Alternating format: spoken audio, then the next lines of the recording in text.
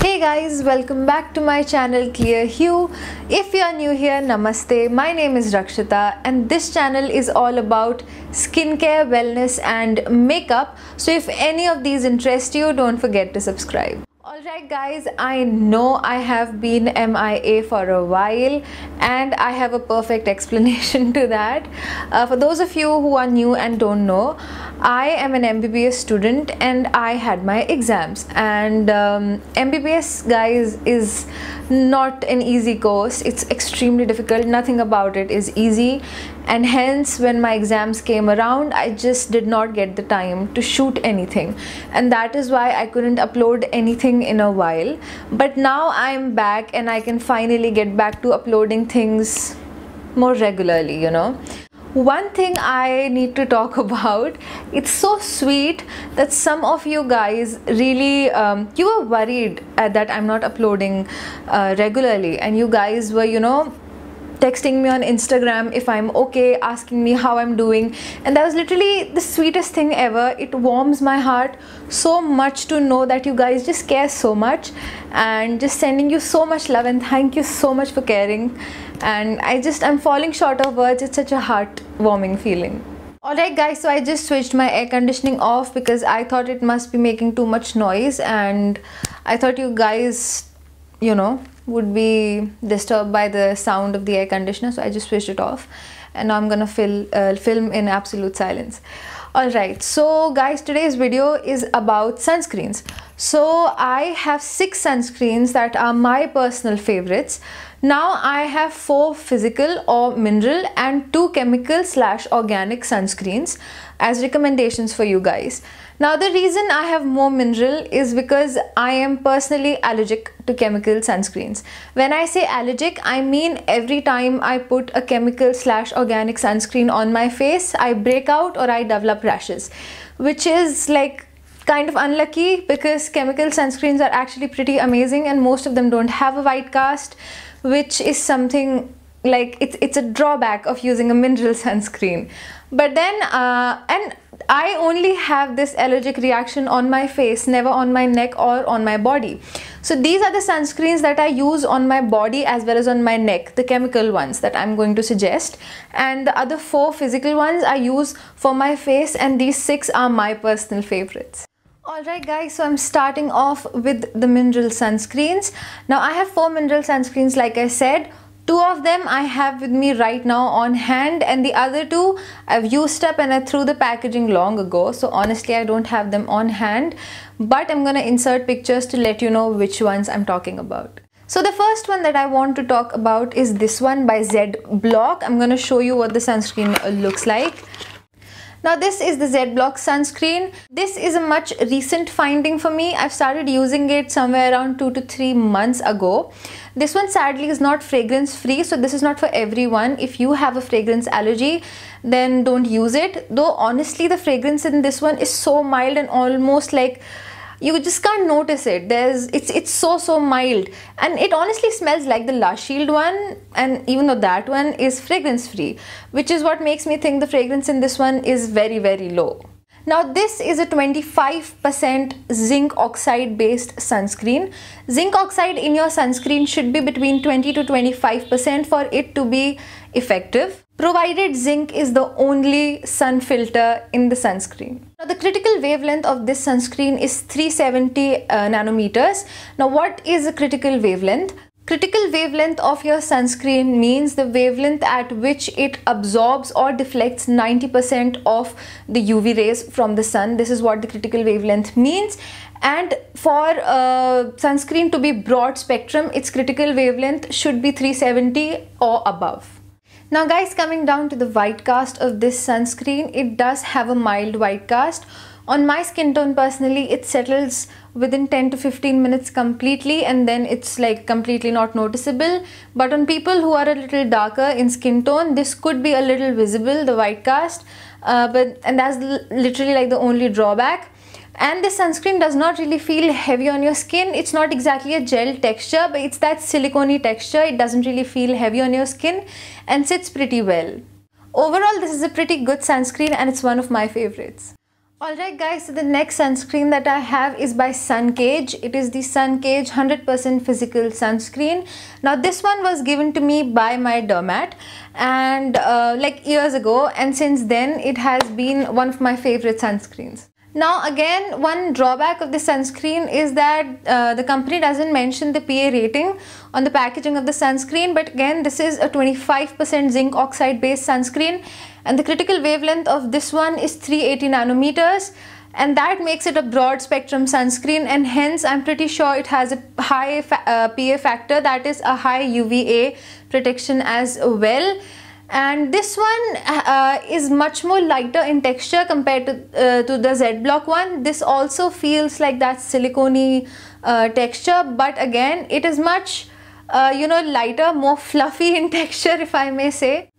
Talking about the white cast, the white cast situation is similar to the Z Block one.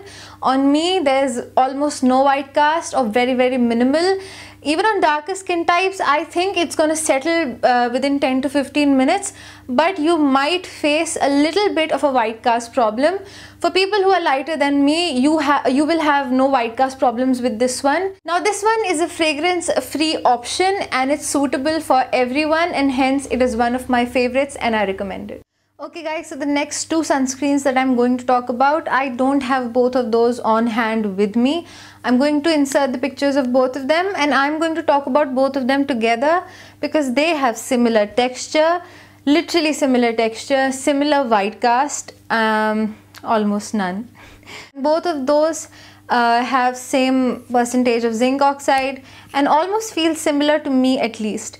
So the next two that I'm going to talk about, one is the La Shield Fisico Matte and the other is Suncros Sunscreen Gel SPF 50. Now both of these are 25% zinc oxide based sunscreens much like the other two I've just shown uh, and both of these have very very minimal white cast. I think even on darker skin types the white cast is gonna be none to very minimal and hence making both of them uh, you know ideal. Both these sunscreens are fragrance free hence making both of them a very very ideal option to choose from. Out of the four physical sunscreens that I spoke about, three of them have been fragrance free. Only the Z Block one has fragrance in it. So these two are the sunscreens that I absolutely love and I would 10 on 10 recommend. So guys, these were my top four uh, mineral sunscreens and now we are going to talk about my two favorite chemical sunscreens. Alright guys, so let's talk about my two favorite chemical slash organic sunscreens. Uh, so like I just said, I have organic sunscreen allergy on my face. So these are the ones that I use on my neck and my body. But honestly, you can use them on your face as well. These are extremely effective and great. And I'm going to show you which are my two favorite. Guys, so the first one is the Bello Photo Stable Sunscreen. It is all the rage these days and uh, rightfully so. This is actually an amazing sunscreen and I'm going to tell you all the sun filters that are in here. So guys, the first sun filter it has is Uvinul MC80. Uvinul MC80 is effective against UVB rays and it is an amazing stable sun filter. Guys, the next sun filter in here is Tinosorb M. Now Tinosorb M is a broad spectrum filter which means it is going to be effective against UVB as well as UVA rays. Guys, the next filter is Uvinul T150. This filter is effective against UVB rays. Up next is Tinosorb S. Now Tinosorb S is a broad spectrum filter again that it is effective against both UVA and UVB rays. And the last sun filter in here is Uvinul A plus granular. Now this sun filter is effective against long wavelength UVA rays. Now guys, this formula is completely fragrance free and it has some great and genuinely amazing stable sun filters that are effective against UVA as well as UVB rays making this an all-round amazing sunscreen. Now guys, the critical wavelength of this sunscreen is 377 nanometers which is again enough for this one to classify as a broad spectrum sunscreen. So I definitely recommend this. You guys are lucky if you don't have an allergy like me. You can use this all over your face and it's just a amazing sunscreen like chef's kiss. Amazing. Alright guys, so the last sunscreen on my list today is this one by L'Oreal. It is the L'Oreal UV Perfect Super Aqua Essence. This again is an amazing sunscreen. The only drawback is how small it is for the price. Apart from that, this one is actually an amazing sunscreen and I'm gonna tell you what all filters are in here. Alright guys, so I actually threw the outer packaging and that's where the ingredients were written. So I have the list right down here, so I'm going to be reading, so don't mind that. So guys, the first filter is Uvinul uh, T150 that I mentioned is uh, uh, very effective against UVB rays. The next one is Tinosorb S which is a broad spectrum filter act, um, effective against UVA as well as UVB rays. The next one is Uvinul A which is effective against UVA rays. The next is titanium dioxide. Now titanium dioxide is a mineral filter making this sunscreen a hybrid and not a complete chemical. So titanium dioxide is a broad spectrum filter effective against both UVA and UVB rays. Now the next filter that this sunscreen has is a Mexoryl filter which is written right here on the packaging as you can see. Now the Mexoryl filter that you can see here is effective against UVA rays.